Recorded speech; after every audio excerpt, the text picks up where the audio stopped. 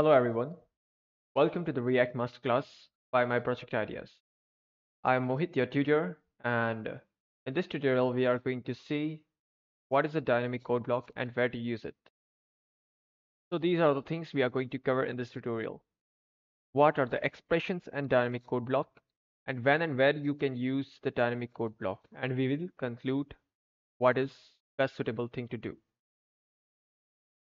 So what are the expressions in the dynamic code block?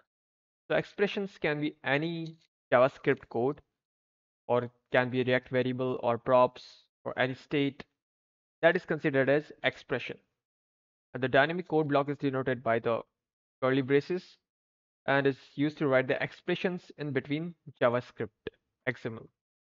So just like this, uh, suppose this expressions is a dynamic one, dynamic variable. It can be anything so, so because it is a variable, that's why I have to define it between the curly braces or inside the dynamic code block. So when and where we can use the dynamic code block. Just like in the previous tutorial, we have seen like uh, how to use the props.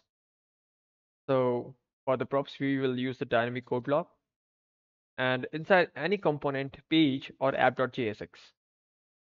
It is used to define the logic inside the JSX or using variables or states in the JSX elements. You can also dynamically render the lists and arrays. And these things we will see in the upcoming tutorials.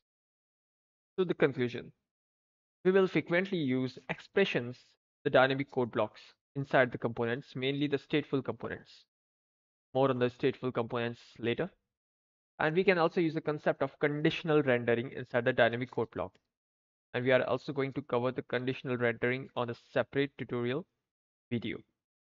Any prop, state, variable, or conditional UI logic that renders the elements can be written with the help of dynamic code block. So yes, this was a quite short tutorial to know about the dynamic code block.